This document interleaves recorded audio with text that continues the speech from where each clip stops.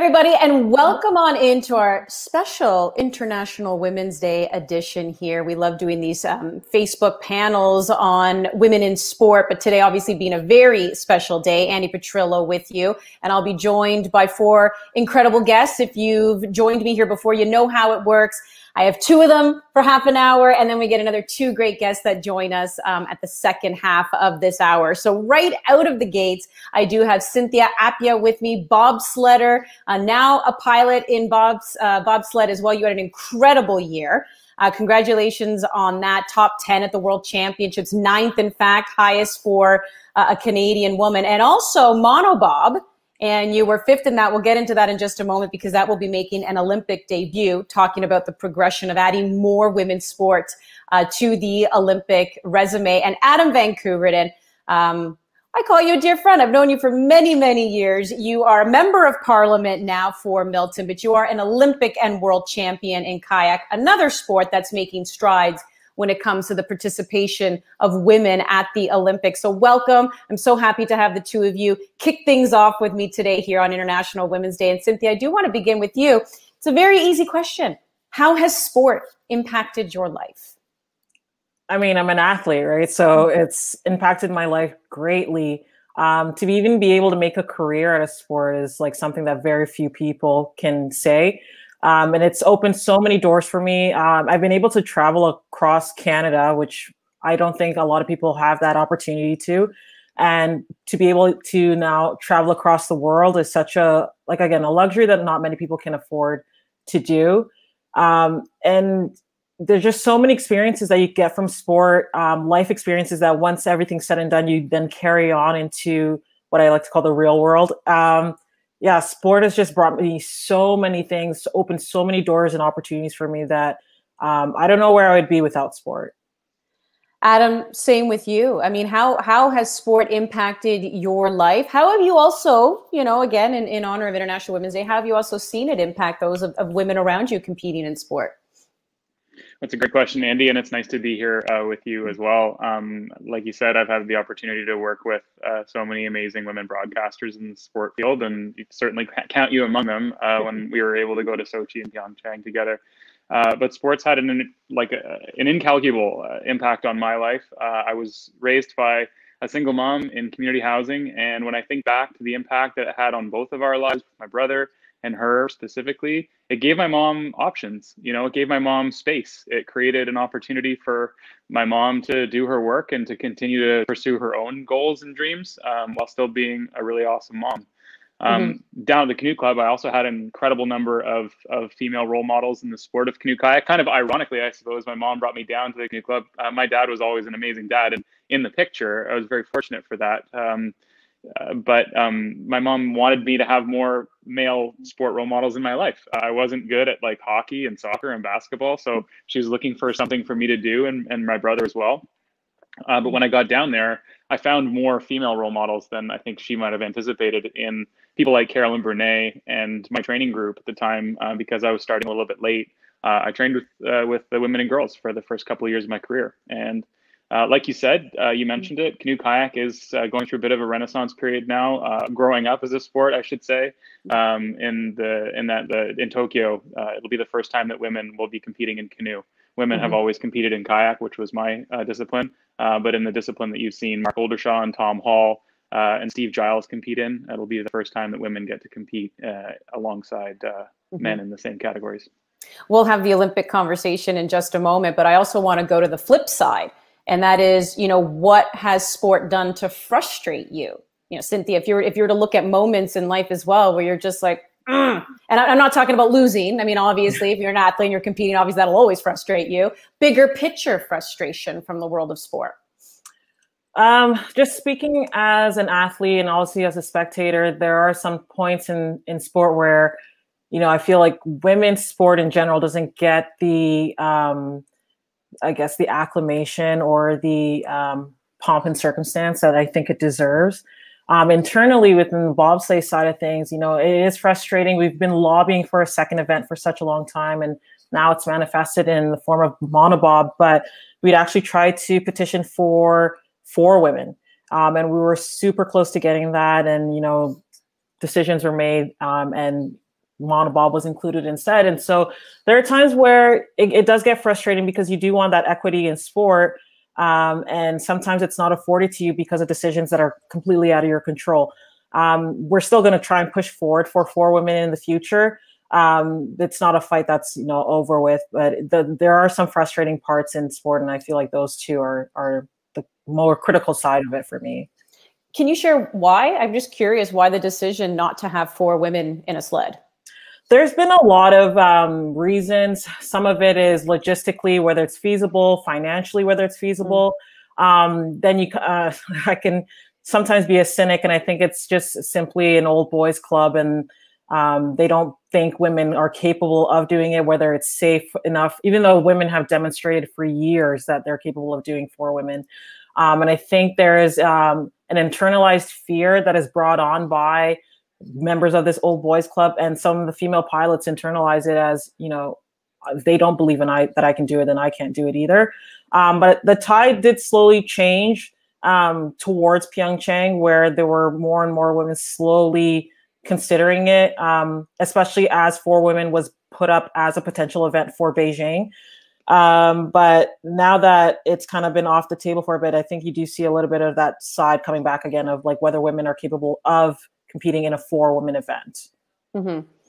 Okay, we'll keep our we'll keep our eye on on that story because we, we've heard it before. If it's not safe for women, or this is going to be bad on a woman's body, and it's like, thanks. I, I think yeah. I know how my body works. I think I can take care of myself. Exactly. Um, but Adam, where where was the frustration for you in sport? Well, I'll be honest, it continues, and it has hmm. uh, the same root cause um, as Cynthia mentioned, and it's it's with respect to equity and with respect to the speed at which we can achieve those things. It's always just been too slow. You know, I started trying to compete for Canada in around 2000, 1999, and at that time there were amazing women paddling canoes around the world saying we want to race at the Olympics, and it took 20 years. It took more than 20 years, quite frankly, but um, you know, for the first time, uh, athletes uh, will be competing in women's canoe the, in Tokyo, which is great progress. But again, um, other sort of benchmarks still exist, right? Uh, the government of Canada, where I work currently, uh, mm-hmm. we've we've set a target of achieving gender equality in sport at every level by 2035. Like that's 14 years away. We've got a lot of work to do. Um, but like Cynthia, I like going fast, and you know I'm not satisfied with the speed of government. So a lot of these I'm not criticizing my own government. I'm saying like the the the reality is things take too long. So uh, you know, I just want to speed them up and keep pushing and keep fighting the good fight. Uh, we've got to do everything we can. I mean, there's a there's health implications, right? It's not just for enjoyment and for fun and for you know clapping and everything. Um, but there's some really really good robust research from organizations like ParticipACTION and Canadian Women in Sport that are indicating that women are dropping out of sport at alarmingly high rates and that that leaves you know women more susceptible and vulnerable to to lifestyle related diseases later in life if they haven't developed the the physical literacy necessary to like continue and that's a that's a, a personal issue for me as somebody that found sport uh, maybe a little bit later than a lot of boys did uh, but my mom recognized the importance of of her boys uh, being active and and finding their their place in sport despite you know, quite frankly, not being very good at a lot of those early adoption sports, those early indicator sports, uh, where where young boys are identified as, oh, he's going to go in the NHL and he's going to go in the NBA. I, wasn't that kid, um, but you know, sport sport is is something that can uh, build nations. It does improve health. Uh, sport does create community. It aids in in social development, and it's about far more than you know just clapping along and watching mm-hmm. uh, role models. It's it's a really is a is a precursor to better health outcomes for Canadians. Um, so that's why I demand that this uh, equality framework we continue to push forward and set really really aggressive targets. I know you've been an advocate for years, and it's also a breath of fresh air to hear that. But at the same time, it's you know I, I think it's um, there, there's truth, but it can also be a lazy narrative that it's just men, you know, who, who hold women back because there's so many men who support women. There's so many men who push and there's so many men who have a voice as well. So what is it that creates this, this slow process? I mean, is it the institution? Is it the decision makers up top? I mean, how does that change? Because I know there are a lot of men as well, um, quote unquote, in the trenches, the athletes themselves who say we need change. We recognize there needs to be change. And then yet even that's slow right? Like I, I just don't know. We always like to point a finger. Who are we finger pointing? Or maybe we're not. I mean, I, I don't know. Maybe it's not that simple. Um, I think it's um, it's a multifaceted issue. I think, like you said, there are men that are pushing forth for um, equity across the board, and I can say to my to my team, like my coaches have been really uh, vocal about uh, pushing mm-hmm. four women as an event, as an example for me. Um, but I think it's just there's so many different roadblocks that you come across that even if you tackle one um, problem, there are like five more that you have to tackle, plus another two that show up out of nowhere. So I think it's um, like any movement or any issue, you kind of need to put pressure um, on all fronts before things start to budge. And unfortunately, like Adam said, things do take a long time. And it's because it's a multifaceted issue. It's not one thing that you got to tackle, and, and that's the problem, and everything's okay. Things take too long because so many other issues come into play. Mm-hmm. Is that how you see it, Adam? Yeah, no, I definitely tend to agree with Cynthia. Mm-hmm. Um, the the reality is that gender equity is not just a women's issue; it's uh, it's an issue for for men and and people of all genders to tackle at the same time. We all have our preoccupations. We all have our biases as well. We all have to work through those and you know become more mindful of uh, some of those uh, those biases that are holding people back. Um, but we also have to recognize the power that sport and physical activity and recreation hold, and it's so so phenomenal. Uh, you know the the utility of physical activity in society to break those barriers down. And you know we, we don't need to look any further uh, than the role models that we have in Canadian sport leadership, in Canadian sport participation, in our athletes, and in our broadcasting uh, to demonstrate just that. Uh, the reality is, all Canadians should have the opportunity to participate in sport and physical activity and recreation at all levels equally. And I think maybe the reason that it'll take time to get it right is important things do take time. Uh, I'm not being an apologist for this, the rate of government, but when things uh, are a complex issue with many root causes, uh, as Cynthia said, uh, multifaceted, um, they will take time and it requires research and implementation and discovery and you know this is not a straightforward uh, path towards equity but it's uh, it's a destination for sure and the, uh, the, the concept of equity and, and equality of access and universal access is one that it extends beyond just gender as well. I think it's important to recognize there's other barriers between sport and physical activity and people in, in Canadian society. But today, of course, on International Women's Day, we're focused on on looking at it through a gender lens. And um, you know, it is a it is just like gender-based violence and violence in sport and all of these types of issues. Um, it's a men's issue as well, and we need to focus on on um, solutions regardless of your position in the game. Mm-hmm. Mm-hmm. Well, let's speak to you know also diversity, and and Cynthia, I'll come back to you on this one, and just maybe the the importance and the implications of having more women get into manager roles, coaching roles, um, as opposed to you know just being the athlete, um, but also even you as an athlete knowing that maybe with the day comes when you retire, you can get into coaching. Like, how important is it to know that there is a pathway to that? It's super important because diver- diversity brings so many. Um, ideas and viewpoints that sometimes get lost when you have you know one group set or just running the show mm-hmm. um, and not to say that um, like you know men aren't you know are, are doing a bad job but i mean diversity men women different people from different backgrounds people of color it brings so many different viewpoints that it ultimately will just make things better um, our team just hired a, the, our first female coach in about seven or eight years. And it's been a good transition because, uh, again, I love my coaches. They've been really good, but it's nice to have a female coach who can uh, bring a different perspective of things to our male mm-hmm. coaches that sometimes they just inherently don't know because they are men. Um, there are some things that um, female athletes um, go through that again ma- male mm-hmm. coaches male athletes won't don't have a clue about just simply because they've never lived that experience and so having her on board has brought that different point of view of like hey this is why you know this is why this is going this way or why this person is acting this way or um, whatever it may be um, again diversity just brings you know it just makes things easier makes things better makes people understand each other better there's not that conflict because people are assuming things without actually knowing what it is. Um, so, I mean, I'm all for it uh, at the end of the day. Mm-hmm. Yeah, like Adam, when you think of your experiences, maybe you know with male coaches, like just how important that was to you, right? And then other people being able to have access to those types of close relationships, right? If they're being represented in a manager or coach role or trainer role.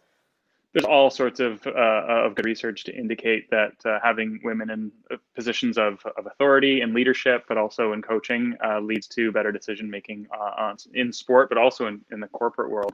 Uh, so, you know, that diversity is so, so important. diversity is often referred to as a, as a fact, whereas inclusion is, is the act, which is actually actively pursuing diversity and ensuring that the diversity is representative um, but that it's also you know not just an invitation to the table, but an, an, an opportunity to to work and to be really really relevant and functional in that role.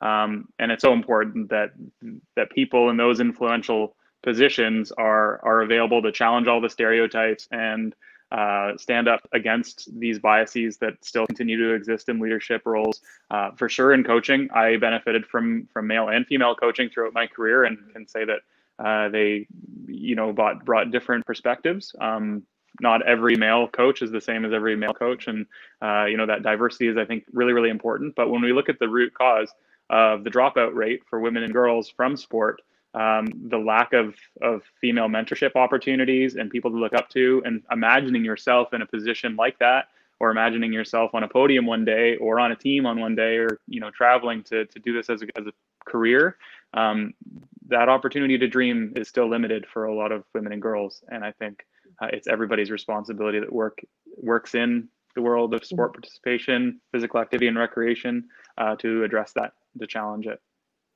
Yeah, it's uh, fascinating that you bring up, you know, also the point we can talk about it, but then there's that whole inclusion and that whole implementation. And I say is wonderful. And I love International Women's Day, and obviously it's a day that's needed. It's a day that should be celebrated. But I also say that this is a this is a day where it can be used as a stepping stone, or it can be used as a token day. One of those, you know, will lead to progression. One leads to stagnation because it can't just be today where you say, "Look, women can do this. Isn't that great?" And then you don't have them be a part or do that job until the other International Women's Day comes around a year later, right? It's about including implementation. Let's go. It's about progression um, and, and, the evolution of things.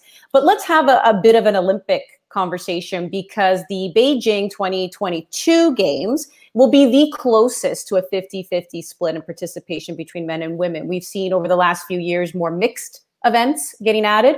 And we're also definitely seeing more women's events getting added. And Cynthia, that's where we can, you know, get into monobob. That will make its Olympic debut in Beijing. What do you also make of more women's sports just being added to this Olympic resume and, you know, bringing that participation as close to 50-50 as possible?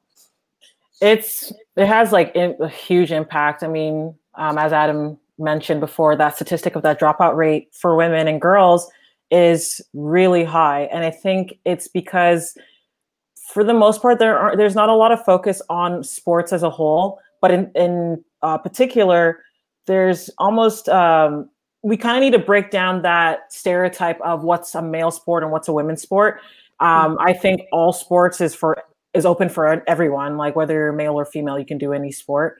Um, and so having that close as close to um, equality in sport at the at the Olympic level as you can will open up the doors for girls who may not realize that there's a sport out there for them. They might see the traditional sports that are kind of paraded on TV day in and day out and be like, none of these things really resonate with me until they see something that they go, hmm, that kind of piques my interest. And it's that representation that um, I'm hopeful it will come out of having um, Olympic equity, I guess you can say. Mm-hmm. Having an equal number of sports or equal number of women participating in sports will, you know, hopefully pique the next generation's interest as to what they can do.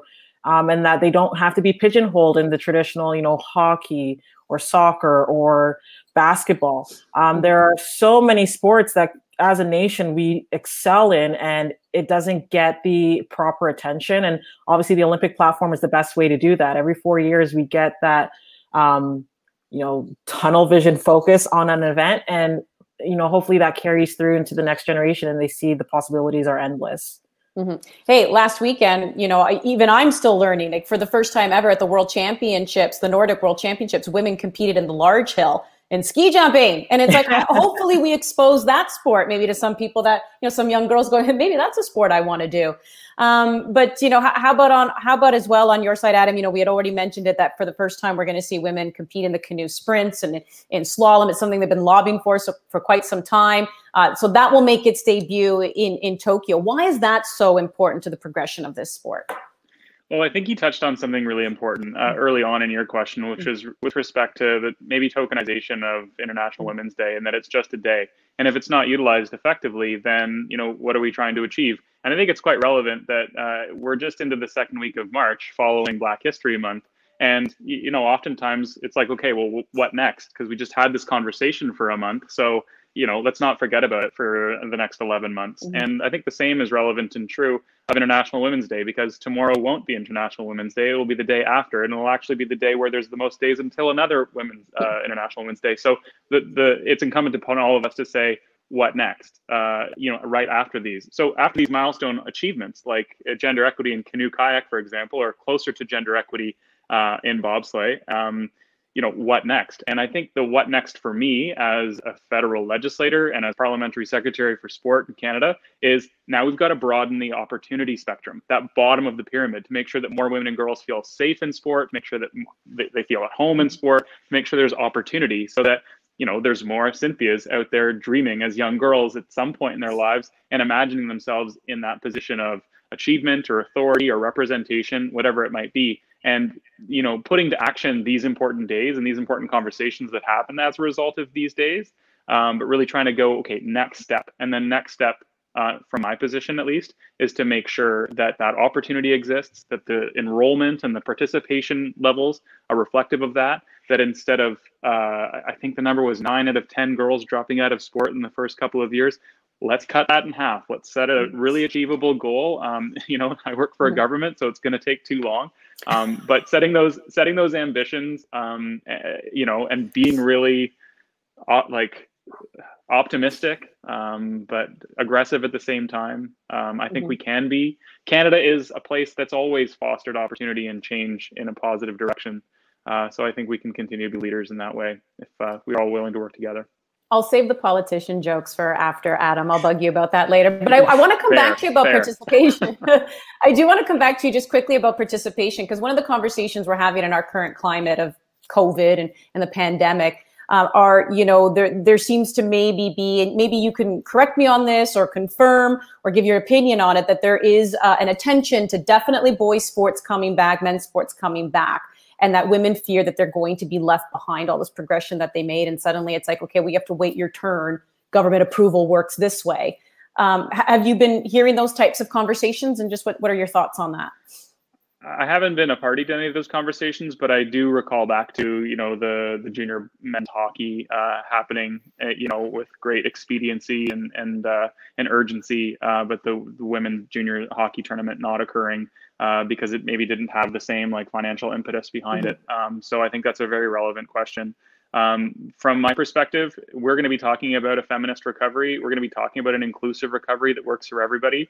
If we talk about building back better, then I'm always trying to, you know, put my hand up in the room and say, what does this look like for people in sport, for people that take it that, that currently aren't involved in physical activity and recreation. And specifically, we're going to talk about it from a feminist perspective, and I think we ought to, because what's very, very clear is this pandemic has had a, a far greater and disproportionate impact on women and girls, particularly women and girls in Black, Indigenous, and and and uh, and, and, racialized communities in Canada, uh, and that extends to how available sport, physical activity, and recreation is for reasons that you identified, but many others as well. Um, women have taken on roles of uh, responsibility, a greater responsibility throughout this pandemic, um, and I think access for those kids to get into physical activity will create that opportunity of reprieve like I mentioned with mm. respect to my mother at the beginning of this conversation, going down to the canoe club was more than just learning how to kayak for me and my brother. It was an opportunity for my mom just to chill out and to not have two teenage boys in her face.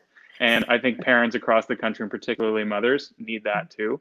Um, mm-hmm. so since September, I convened a group, a working group, uh, to focus on sport, physical activity, and recreation in Canada and an active recovery from COVID nineteen, and that's uh, been my one of my main focuses in the last couple of months. Oh, I think we'll get Cynthia back in just a moment because I, I can't believe we only have five minutes left with the two of you before we, we switch to the other two great guests who are going to join us. So I'll come back to you, Adam, and, and when we get Cynthia back, because I do want to leave you with this. Like, if there's one thing that you would like to challenge when it comes to inequity in sport, what would that be? And then, of course, on the flip on the flip side, I always love my yin and yang. What's one thing that gives you hope about the progression of women's sports? The the most troubling statistic for me is uh, is the dropout rate for for women and girls, and uh, I had it up on my screen here, uh, like all of us, constantly doubling, double screening. Um, but the uh, the the challenges that that the rate of dropout is so much higher uh, in in for, for girls and, and, and women in sport. And I want to challenge that. I want to cut it in half. I think it's really, really important that we identify the root causes of these dropouts uh, and and figure out why sport isn't appealing or available or or fun or welcoming or mm-hmm. safe for for women and girls. And getting to the the root causes of that uh, source of inequity and that imbalance is is the first step. I think. What gives me hope is that the research exists, that we already have the amazing mm-hmm. uh, leadership from from Canadian Women in Sport and many other organizations uh, like the Canadian Parks and Recreation Association. Uh, organizations like Coaches of Canada uh, and the Coaching Association of Canada are run by women. Own the Podiums run by a woman. So there is hope, and there is an indication that you know sport in in Canada has always had strong female leadership. Um, but that's no reason to take our foot off the gas pedal just yet. Um, but like I said, if we can challenge that dropout rate, I think it'll lead to better social outcomes for women and girls in Canada. Cynthia, can you hear us? I can. I really apologize for that. The no. Wi-Fi kicked out in the whole building. I was say you are everybody on Zoom. Like we've all had that experience. We've all, you know, you know, our internet's either gone or something's happened technically.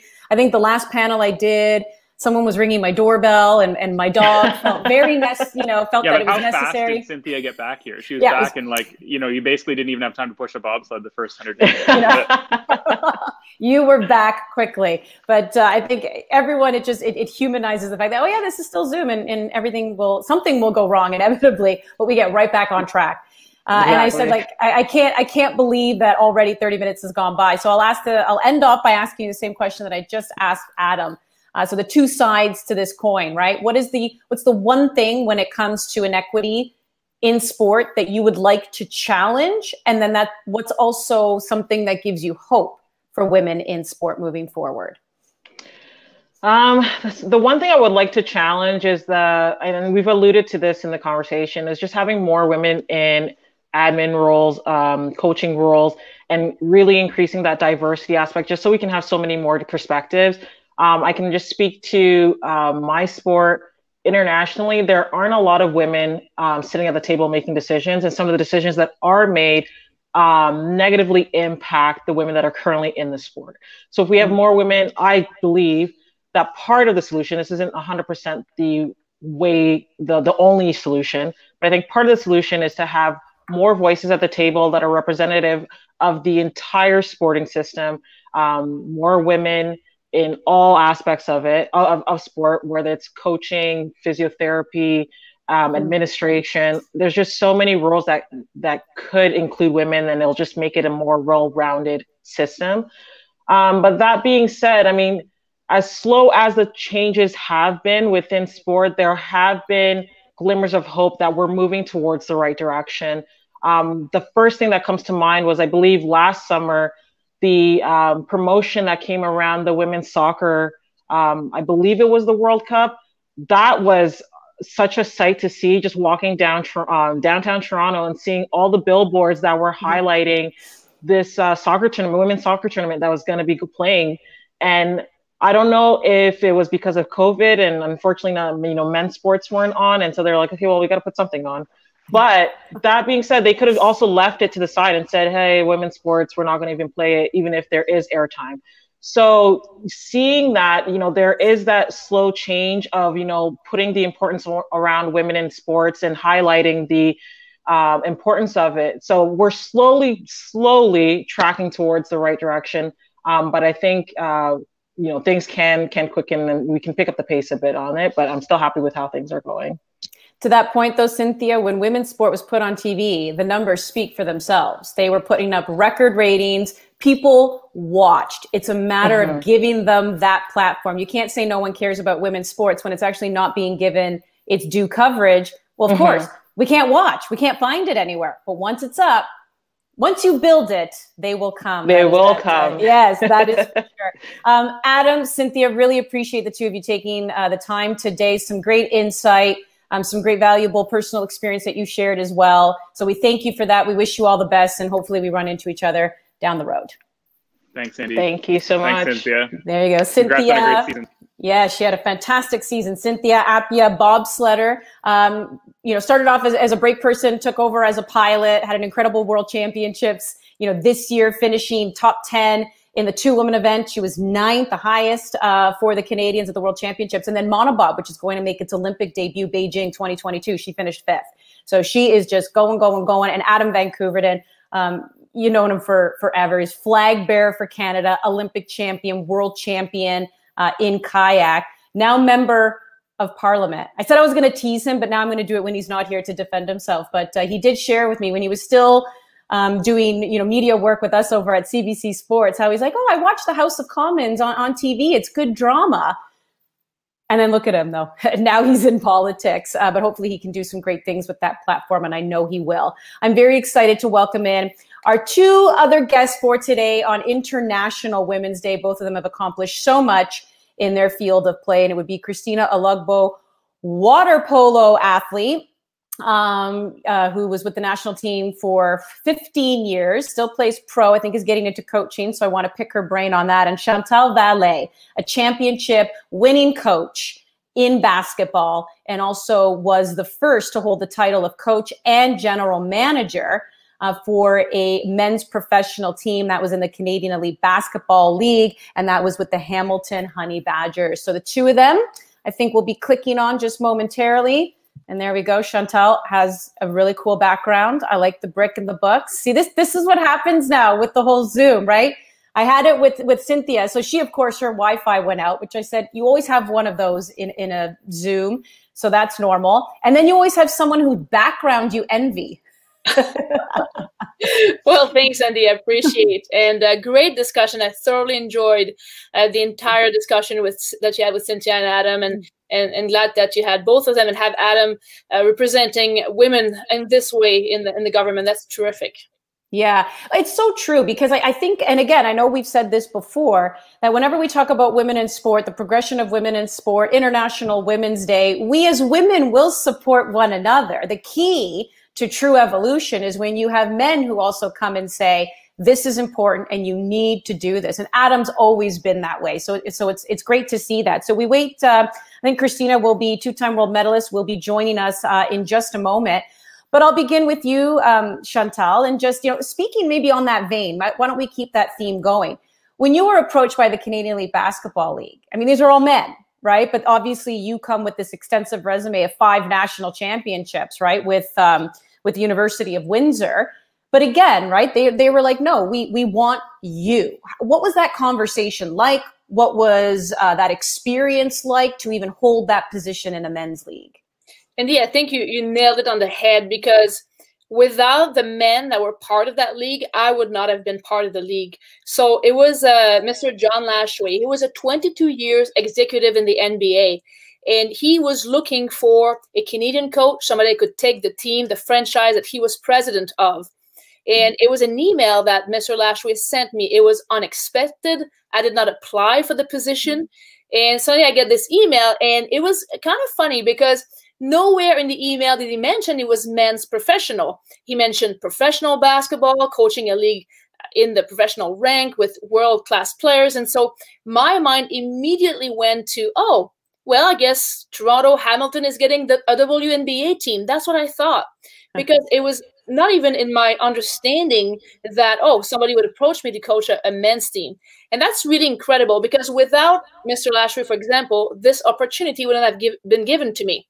And once we started talking not once he mentioned to me oh chantal it's men. He always took it as i want a good coach to coach my franchise i'm the president of this organization and i want to have the best team possible it was very impressive to me and that's very much what uh, i think made me want to be part of it later on, when I met Mike Morreale, the commissioner, and all the people involved in the league, the amount of respect was was unbelievable. And it's not it's not that I didn't expect that; is that I was actually happily surprised.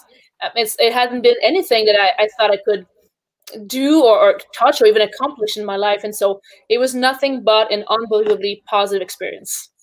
And isn't that the point that we want to get to? And, and you bring up such a you bring up a point that really hits home for me because when I was approached even five years ago to host a sports radio show, I mean, at that point, I'd been in the industry for a decade, but I was still taken by surprise. What? What? Like a, a woman can host a, a, daily, you know, sports radio talk show because you just you don't see it that often. Not that you know you you didn't think you were accepted or that you know you just didn't know that it was available to you and I wonder, like, is that is that where we want to go? Because you are an accomplished basketball coach, but there's still a little bit of that surprise element of, oh, oh, you want me to be part of the the men's game? And isn't that what we're working towards, where it no longer becomes a surprise? The resume should just speak for itself because those avenues should just be known that they're available to women. Absolutely. I think for me, when I think back about when I was a child or a young woman or teenager growing up, and I look into what I thought I could become. Uh, first of all, I didn't even think I could really be a coach because everything I would see on TV, in the media, in the newspaper was always men coaching. And I saw one woman coach, and she was the coach of Laval University. Her name was Linda Marquis. When I saw her on a little, little, it was a tiny five second clip on CBC, actually, I thought, oh, a woman can coach. Mind you, it was only coaching women. And not one time in my life have I ever had the, I'm, I'm going to use the word opportunity to, to dream or think that I could, for example, coach in the NBA. Whereas a lot of my male friends and really good friends would say, Oh, I'm going to make it in the NBA. I'm going to play in the NBA. I'm going to coach in the NBA. You know, we all have these dreams when we're a, a, a child and we just hope to go as far as we can. And I remember thinking, Oh, I guess I can't dream. Is is in fact it's not even that I couldn't dream this, is I didn't even know that it was possible. So for me it was like, okay, well, I guess I could coach university. And, and to this point again, even when I was uh, uh, my, my father was very supportive in having both me and my sister into sport. But I remember wanting to play hockey and wanting to play football because I would watch the Sunday football with my dad, you know, every Sunday. And the first time I came, I said, Dad, I, I really would like to play. He says, No, no, you can't because you're a woman. And that was so strange for when you're a child, you hear this, you're thinking, Oh, I, I didn't know that I couldn't do this. Why is it that that's only a male sport? To Cynthia's point earlier that she brought, why do we make differentiations? And so there's a very important, uh, uh you know, a thing to be understood is that if you can't see on TV or read in the media or listen to women leaders into sports, into leadership role, into administrative role, coaching role, I think that most of the people don't know that these are possibilities for them in terms of career. So the shift that we are seeing is super important. And I think you're right. When we can get to the fact that we're not, oh, another woman, oh, mm-hmm. really? I think we will really have reached that equity that we're mm. trying to talk about. Excellent. Oh, Krystina, you have joined us. How are you? Hi, I'm good. Sorry. Hi, Chantal. Hi, Andi. happy International Women's Day. Yes, happy International Women's Day. I'm so happy. Um, we, are all working out the tech issues behind the scenes, and we got you on, and that's so incredible. And uh, I had talked about you being a two time world medalist. Um, joined the national team when you were 19 years old, eventually served as captain. 2020, announced your retirement from the national team, but still play pro. And I was just talking to, you know, Chantal about obviously being a coach and in the CEBL as well and kind of taking over in the men's side. But I do want to also ask you about coaching because we, we feel it's such an important role for women to be in.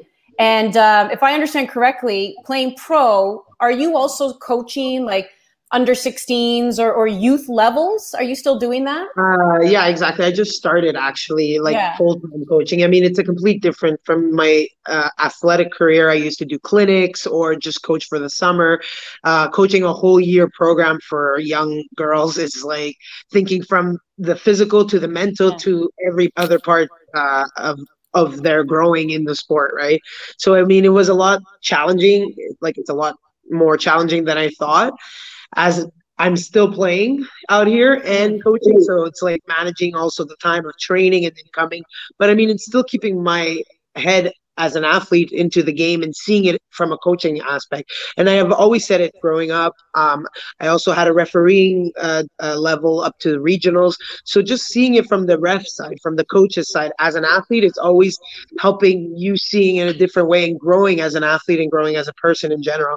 And I'm really liking it out here. Actually, I coach from under 16 to under 20, uh, the female, and they've pretty much gave me the whole veto because of my experience in sport. And here it's kind of growing water polo out here in Verona. So they've kind of given me like the um, the power to do a lot of things and try a lot of new things, get the equipment that they need and stuff like that. So it's pretty cool that I can try to bring all that experience worldwide that I have to this little city, well, this big city in Verona here.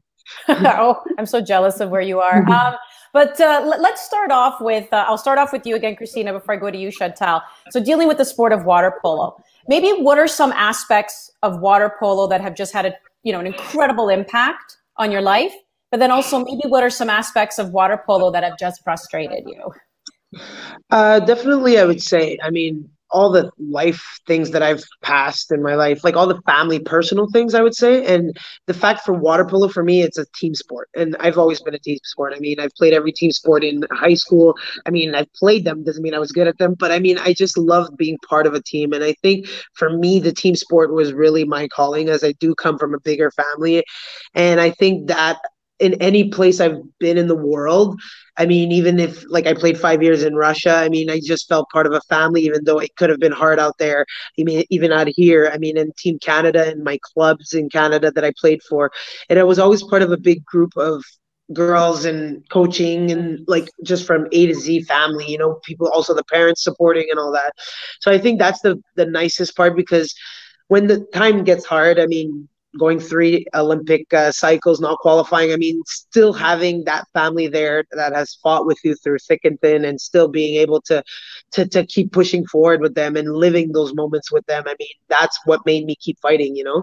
Mm-hmm. And I think the hardest thing of my career in water polo is that, I mean, I've wanted it to be a great sport, a known sport. I mean, I love every sport. I played soccer for a long time, uh, basketball. So my brother's a very good basketball player, and hockey, obviously, like with my brothers and stuff. But I mean, water polo was just not a known sport, like as much as those sports out there. And I think that's a little bit frustrating because it's it doesn't have its its merit Mm-hmm. Yeah, sorry, I'm like thinking a little bit in Italian sometimes, but I mean, it's merit that it deserves. Sometimes it's like the toughness that it is.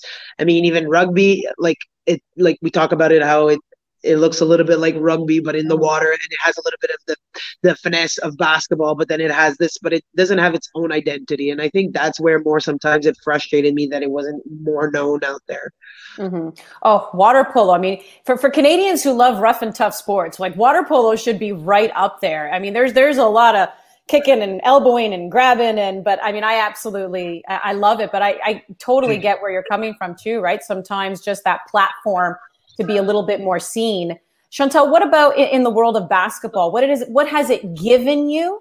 But what are still some of the challenges the sport itself faces um, that you're trying to also push forward? And maybe even again from from a woman's perspective, because we know about NBA, WNBA, but maybe the other routes.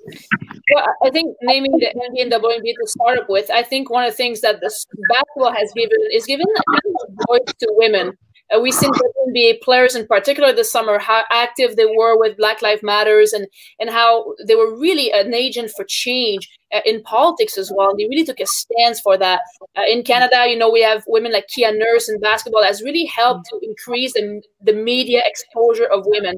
And I think that brings me back to maybe one the one place that I think is still a bit frustrating is how let's just be real there is almost no media coverage on women except cbc's an ama- amazing job with i know with uh, your executive director chris wilson we really said we want to do equally uh, you know value women and put women on tv as much as men and they've done that. But apart from that the, the, the most of the other television channels the, the written media i think there's room for challenging the fact that we see research shows about three to six percent media coverage on women. I mean, we're talking like this is minimum, and we're in 2021, and so that's a place that I think if we can see more, more women in the media, I've seen this in Windsor, in my hometown, as a basketball coach at the university. We've been fortunate to be covered in our written, um, radio, and TV media equally to the men. Sometimes maybe even a little bit more because we've had some some incredible uh, bouts of success, and the response from the community was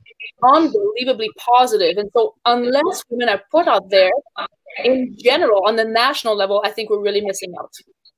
Yeah, that is for sure. Well said, uh, Krystina and Chantal joining me here. Krystina, again, kind of going on, you know, you dipping your toe, obviously now in coaching. Where do you want to see women represented in the sport of water polo, not just in the pool, um, but but do you see that evolution happening in your sport? Would you like to see more of it? Uh, definitely. I mean, there's never enough of it. I mean, I think it's just more like even I'd like to have 12 women at the Olympic Games, like the men have. You know, that's just the start point right there. Uh, I think they've started. FINA has started having more female referees, more female female delegates up there. But I mean, it's just one out of for every twelve men out there. So I think it's just getting them more out there and having a voice at the end of the day. I mean, I know we've had a few representatives from Canada being up there in the FINA world and and helping us have a name, have a voice. But I mean, we definitely need way more women out there. And the problem is with water polo, it goes way back. It's a European mentality where they're just thinking men. It's a men's sport. It's a men's sport. So they're slowly getting there. But I mean, I, I don't like Shanta said. It's 2021. We just gotta speed up a little bit. You know. Mm-hmm. How do you even foresee a path? Um, like, is it a matter of doing what you're doing right now, like getting into coaching? You said you also have the ability to to ref. Like, I don't want to be dramatic, but how does that fight a happen? How does that fight progress? Because you're right. You're talking about sports that are ingrained decades, you know, into certain old boys club, or they have a certain way of doing things, and they're very resistant to change. Where do you even begin to dip your toe? Well, definitely, as coaching small clubs, mm-hmm. coaching around the world. I mean, Italy is one of the places that do uh, a lot of the control in water polo. So I did step tip, step my toe in the best place possible. But I mean, I think it's stepping out there, it's coaching, and then seeing yourself that you do have a voice.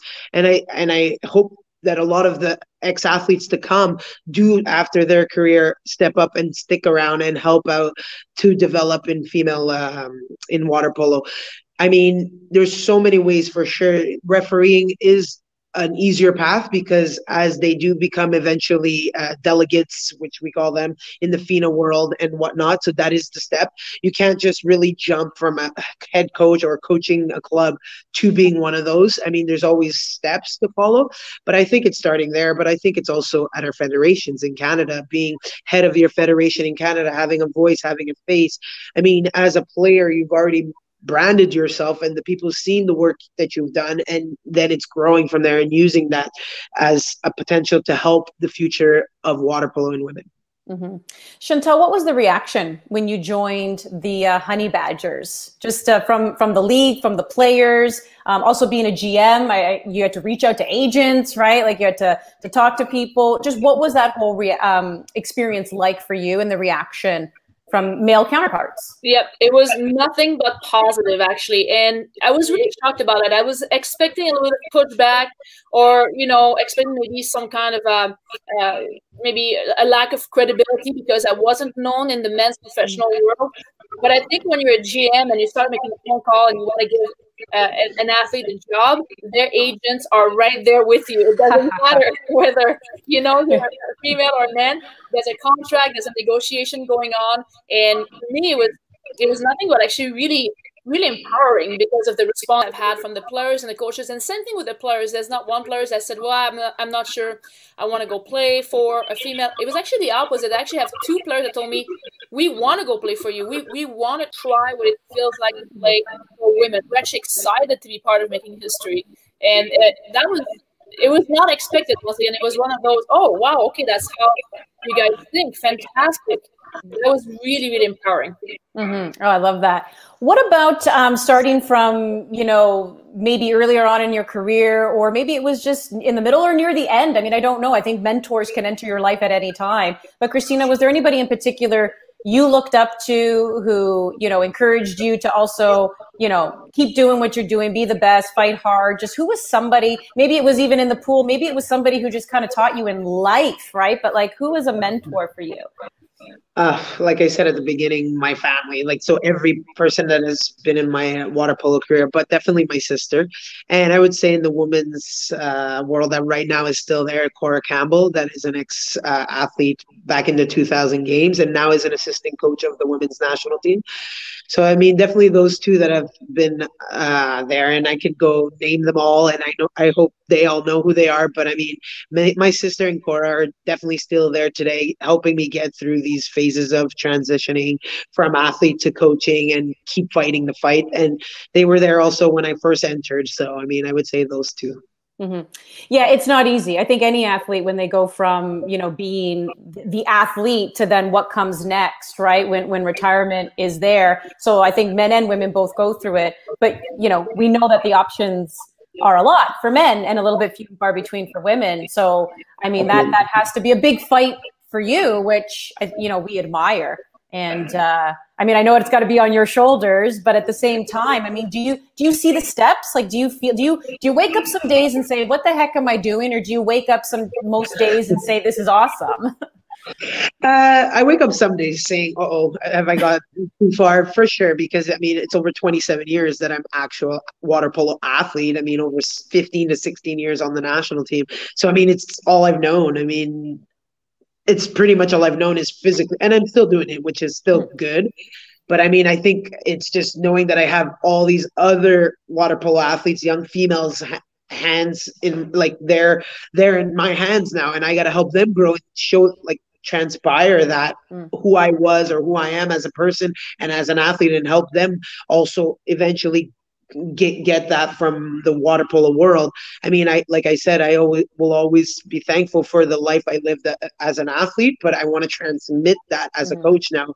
And it's kind of like finding how and going back to those moments and reliving certain things, which is that's where I would say is awesome because then I go back and have that feeling again as when that coach or that one person said that to me, it helped me, or that one reporter asked me that question, and like you just go back to every single moment, and it's that's where it just it gets exciting because you get to relive it again. And mm-hmm. for sure with the, the girls, I mean they they they got my hands full, so it's it's good. It's I love I love it, and I mean I didn't think I used to say to a lot of people, I'm never going to coach. I'm never going to coach because I used to see the coaches. I mean, Sean, I could probably say it. Like it's it's a hard job. I mean, it's your life job, and it's you're taking care of everybody. You're the one in charge. And still till today, I'm playing, and I'm still waiting always on my leader as my coach. Even if you have captains and you have other people around, I mean, your leader is your coach, and it's it's the voice of the team, right? So mm-hmm. it is something to to to to look forward to and exciting, and we'll see where it leads to. Well, so how about that then for you, Chantal? I mean, who was who was your mentor, but also being a coach, and you've been a long-standing coach. Has anyone ever said anything to you about how you've helped them and, and influ- influenced them? I'm sure you've had many like that. Yes, actually. Well, first of all, I think, like Kristen said, our parents are so vital in the way that we are raised and the way that we develop resilience. My mom and my dad taught me so much in terms of work ethic, and, and you know they were my first role models. The interesting point in my career is that I never had actually a female role model. I've never had a female coach. I've mm. never had a female leader. It's not something that I have experienced at all. And so the people that influenced me, all my mentors were, were men. They were all wonderful. I've learned a lot from them and uh, they, they really helped me to form who I am. But the reverse is now that I'm on the other side and I'm the coach and I'm coaching these, these women, and they tell me that you know they see me as a role model because I'm a woman in particular. It is, it brings a perspective of, of, of responsibility on my shoulder that I didn't really uh, expect. It's it's not mm-hmm. because I'm a role model because I'm a coach, but as a woman, as a strong woman, as a leader in the community, as a, a person that that get to speak on media, has that platform. My players look up to me in a way that I think I never had the chance to see that. So it's, it's a hard perspective to understand for me, but it certainly brings about uh, how much more important it is to have people like even, like you and me that's all that's you know in broadcasting as a woman like that's that's terrific and i want to say krystina like the importance of you being a, a woman in coaching is probably tenfold what you can even imagine because of because of that gender, because of the these young girls that can look up to you and be like, oh, I could be like her, and, and I could be inspirational. Maybe I could have a career. This is so important that we can you know put our faces out there for these younger women. And uh, it, it's a it's a gift of life i think that we have the chance to be either in broadcasting or coaching or, or, or in, in that role. I think that uh, we should really just also be grateful and cherish it as much as trying to encourage the women to go in that field. I guess I'm going to finish by saying on that, on that note in particular that several of my players have told me they're afraid to go in coaching. They think it's too much work or they think it's too hard or you're being criticized as a leader, you're being scrutinized. And the answer is yes, all of the above. it is exactly like that.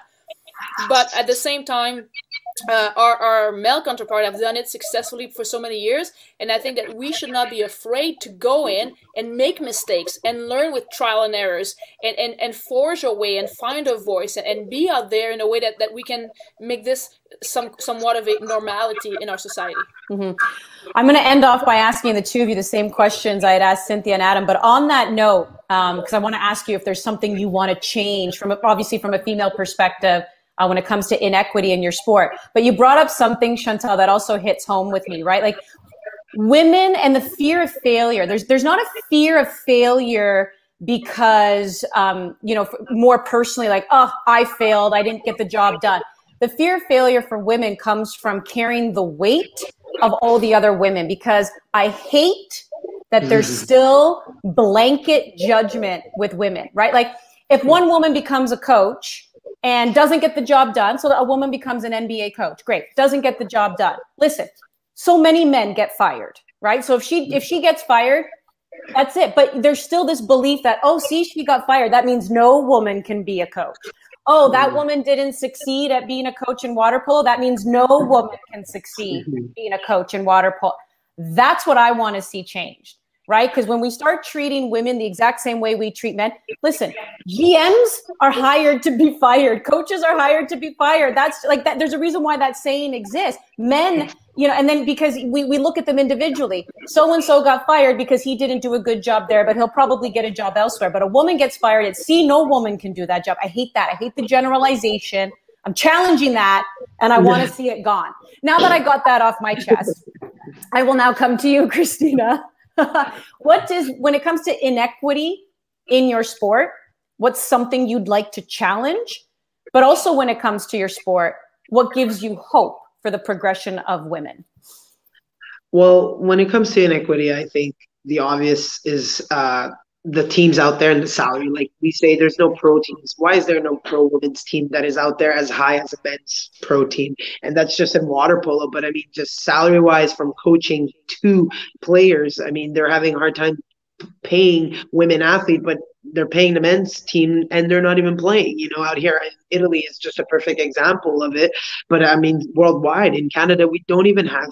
and I think for all the sports, I think going back we're starting with the female hockey mm. league, but why? Why is it low on pro uh, leagues for female out there, and male leagues is everywhere, and it's the biggest thing that people are watching. So I think I would challenge is that trying to get the same level of fairness and games and visibility also for those teams. And then also the amateur sport, of course, I've been uh, uh, fighting for amateur sport my whole life. But I mean, if we have more pro teams, then it's, it's exciting. And I know I heard a little bit of the uh, live streaming with Adam is just um, having the, or Cynthia, I believe that said it, is having the airtime for them having the mm-hmm. airtime, watching them. And then I think it is interesting. I go back to Montreal 2005.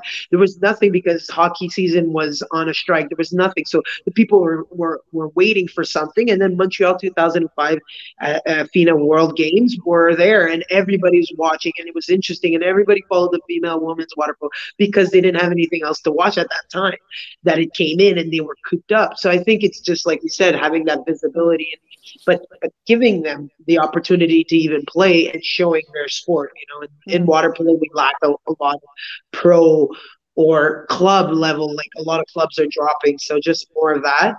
And I think uh, just to go back on the question, it was what's good about hope. my sport. Yeah, like what gives you hope, right, for the future of women in, in water polo? I think all the all this time that right now it is a pandemic and all that, but I think a lot of people have taken in more time to listen and start opening up to being there. And we are noticing, but I think people are acting more up, upon it.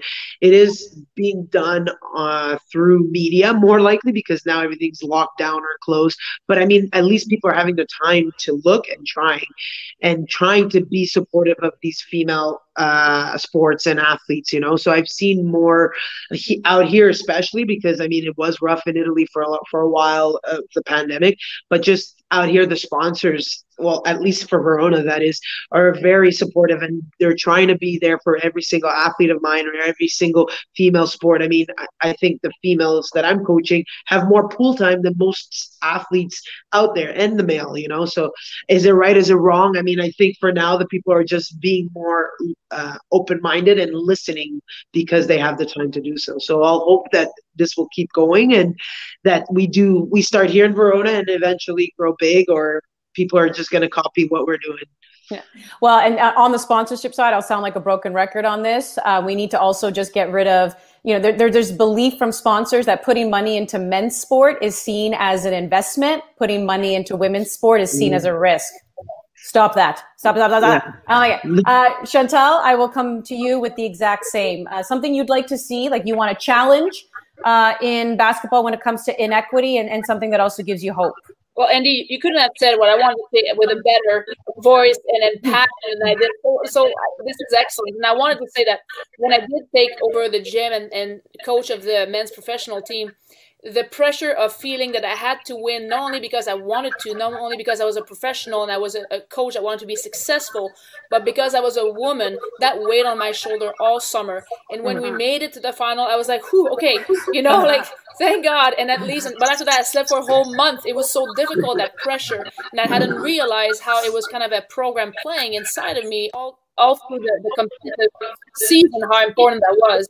Uh, that being said, I think that for me, I, I found that probably one of the solutions to help women the most is media.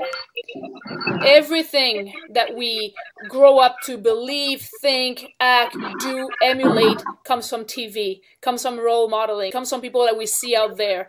Um, and I think that the role of the media is so critical to change a narrative. If media continue to only show three to six percent of women on TV, or write about three to six percent of women in sport in the in, in the in the written print or in social media, it's not going to change, and that's just a fact because it is. Uh, let's say it, it, say it, say it the way it is. It is a, a money making venture, like you just uh, explained, Andi. And I think that if people see the value of women on on on TV and are willing to then pay for sponsorship because there's going to be viewership that changes the entire narrative. There might be more sponsors interested, more money input mm-hmm. into the women's program, more female being put on TV, and I think that's where that's really where it can change because the quality of the game, the quality of athletes, the quality of coaches, managers, administrator is out is right equal with guys. There's no difference. It's entertaining, interesting, and maybe an example. This morning I had a, a discussion with a good friend of mine. We said, "Oh, March Madness is happening," you know, and I said, "Yeah, okay." And so that's just a guy thing, right? There's no mm-hmm. March Madness for women. I said, no, there is. Absolutely. March Madness is also includes women, but we have never seen it in our country right? Canada mm. does not promote march madness for women. It only shows the man on tv and so so that right there is is i think you know where we can really address the core of the situation. That being said the positive side when i uh, started to be the coach and the gm of the honey badger in 2019 i was the only female. The next summer there was three of us coaching in the league that's amazing. I was so mm-hmm. happy for them and so proud that other teams, other coaches, other GM went to hire female to be coaching those guys, and that's amazing. And so we need to keep mm-hmm. that uh, that that door open. Perfect. Well, the theme of this year's International Women's Day is choose to challenge. We, just laid down a lot of challenges right there. Uh, that's for sure. So, Krystina, Chantal, Appreciate you taking the time today. Much success and everything that comes your way. And uh, thank you again to Cynthia and Adam who joined me earlier. And to everyone here taking the time to listen um, to our discussion today, really appreciate it. Uh, stay safe out there and happy International Women's Day, everybody. Bye. Thank you.